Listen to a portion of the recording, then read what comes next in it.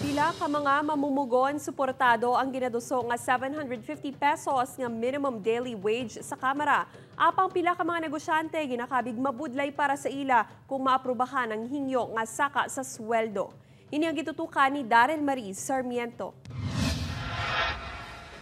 Ginaduso sa Kamara sang Makabayan Block ang House Bill 7568 kinagahingyo nga mapasaka sa 750 pesos ang minimum wage sa mga empleyado sa pribado nga sektor sa pareho nga agriculture kag non-agriculture industry. Diri sa Western Visayas, yara sa 450 pesos ang minimum nga sweldo. Butang nga ang ginaduso nga saka sa sweldo ang ginapaboran sang mga empleyado. Para bastante sa panimalay mo eh. Ang imo income daga daw. pabor sa amon yung mga nabong nga mamumugon mo.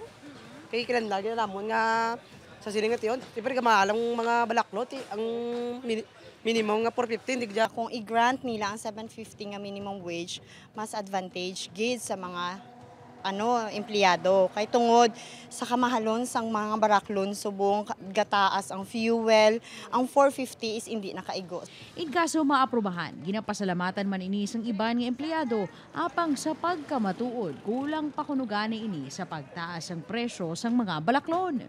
Hindi gid guro mami.